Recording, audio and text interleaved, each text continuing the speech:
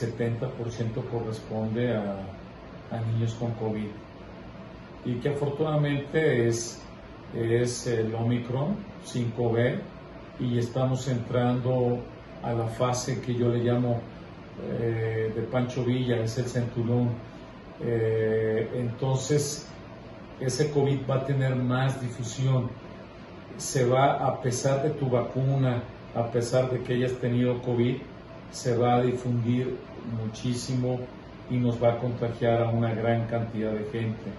Las complicaciones que nosotros hemos visto en niños, primero te voy a decir los síntomas que hemos visto en niños.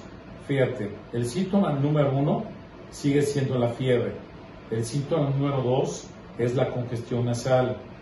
El síntoma número tres es la voz ronca y el dolor de garganta. El síntoma número cuatro tenemos la diarrea y tenemos vómitos. Otros niños y que ha aparecido como en un 20% el CRUP, que le llamamos laringotraqueobronquitis. Hemos tenido más de 20 casos con niños que tienen laringotraqueobronquitis y que eventualmente es el virus para influenza 1 o 3 que lo ocasiona. Pero en este caso, cuando tarda más de 3 días, sin lugar a duda es ocasionado por el virus del COVID.